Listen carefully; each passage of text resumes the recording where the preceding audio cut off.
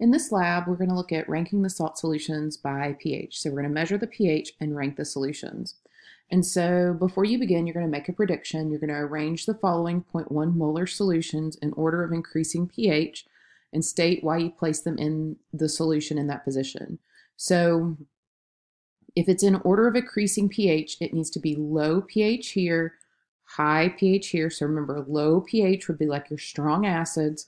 Your high pH would be here. That would be like your strong bases.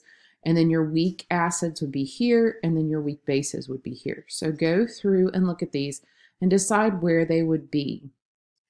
Now, once you've done that, we're going to go through and we're going to measure those solutions. We are going to make a 0.1 molar solution um, of each of these. Some of them already are in 0.1 molar solution, so that's really helpful, but some we have to make. So we're going to open up chemistry. We're going to select the acid-base chemistry and then ranking salt solutions based on pH. So we've got acid-base chemistry here and ranking salt solutions on pH. And so one of the things that it says is that they've already got the first one there for you. So on the stir plate, there's a beaker of 0.1 molar ammonium chloride NH4Cl that's already been prepared. PH meter has been calibrated and is in the beaker.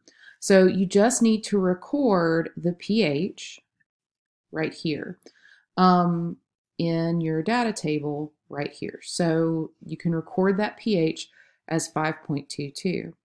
Then what you're going to do is you're going to follow the instructions and um, record the pH of the other either solutions or solids that you make into solutions. And at this point, you've made enough solids into solution and measured everything. You're not really using anything new. So you should be able to follow those directions and do this lab with no problem.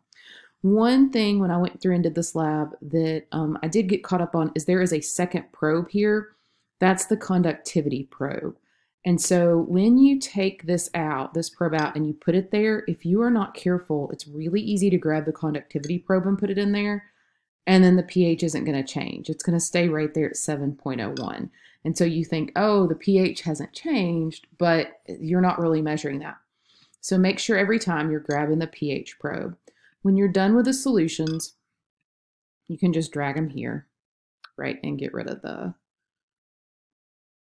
well, I said you could just there you go. Get rid of the beaker, right? And pull out new beakers. So again, nothing really new in this. Um, follow the directions, right? And record the pHs here.